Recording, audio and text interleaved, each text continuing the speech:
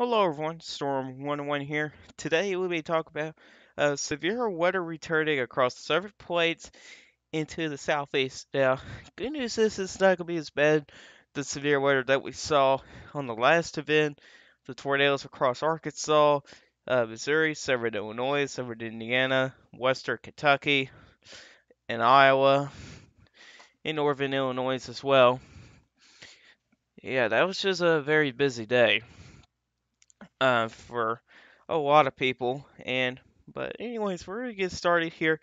We're gonna uh, kind of briefly talk about this uh, severe weather event because it's right now not too big of a deal, at least for today.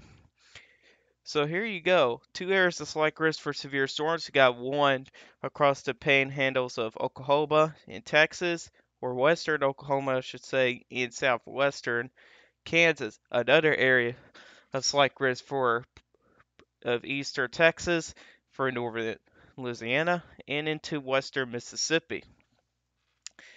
Tornadoes will be a threat for both of those areas, and there, as you can see there, there's a small tornado chance. It's not too big of a deal, but the area uh, we'll rather watch is this area area right up here. There's that area area up there is pretty favorable for some supercells. Winds are there, but the hail threat, you can see there's significant severe, which indicates there could be a probability of, hold on a minute, uh, two inches in diameter sized hail or bigger. So we're going to have to keep an eye on that. There will probably a chance for supercells up there, which the models do show that pretty well.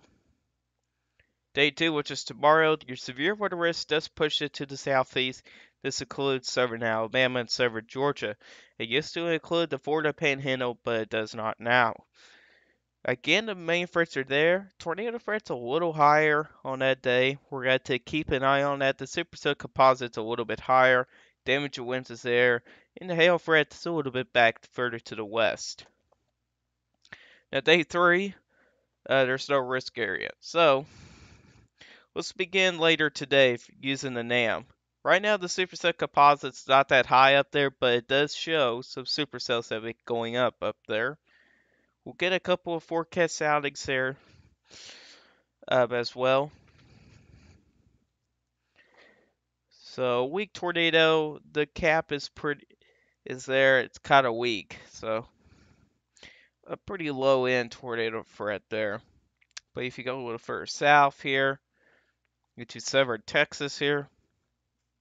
There's a 7. That'll be the last forecast sounding for this day. And as you can see there, it's pretty favorable. Now, Equinox is very high. It's way up there. There's a little bit of cap in there, but it's just, uh, it's about weak enough for the stores to probably push through the cap because of those updrafts. Now, the significant tornado parameters We'll take a look into that.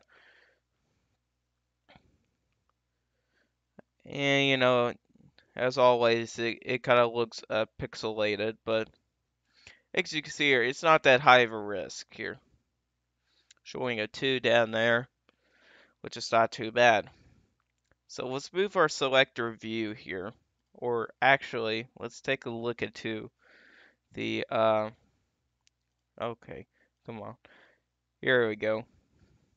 Let's take a look at the kind of the future radar to show you guys what I'm actually talking about. These storms right here, you got a little storm here, you got a larger storm here, and that might be another storm right up here.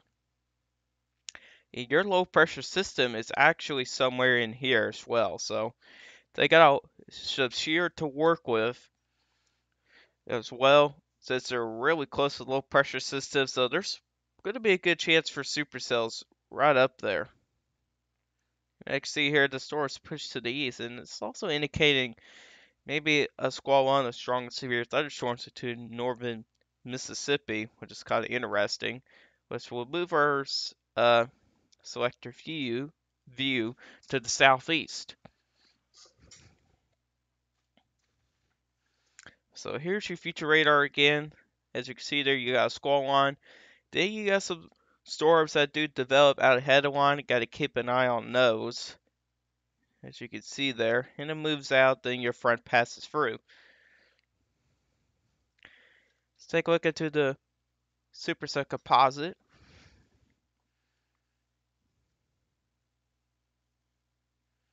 As you can see here, it's not that high either, showing some fives and fours, which is it's not bad for severe weather. It's not too bad. And the forecast already looks good for tornadoes. As you can see here, there's no, there's not to be any capping issues with this type of setup. So this is something we got to watch for. Your low pressure system is, is currently at the Alabama, Georgia, Tennessee state lines right here as you can see there from these wind barbs here. And their, their cold front. So the significant tornado parameters, it's in the yellows. It's not too bad. At least this setup here won't bring any significant tornadoes or anything because this low, if this low pressure system was stronger, yeah, we would have some issues. But right now the low pressure system looks to be kind of weak. So that there's some good news there. And you know, it's pretty good to go. If there was a tornado threat, it's between a one and a two, so it's well, you know what I was saying there, but that's kind of again kind of talking about the system pretty briefly here. It's not going to be too big of a deal, in my opinion. We, we could probably see a couple of tornadoes tomorrow more than likely, across Alabama, Georgia, and maybe into Florida as well.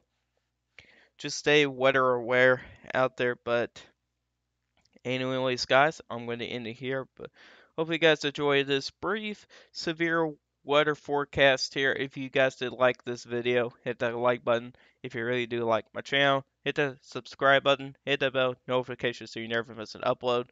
If y'all guys got questions about this, you could put a comment section down below. I will answer you guys questions. I'll see you guys in the next video. Goodbye.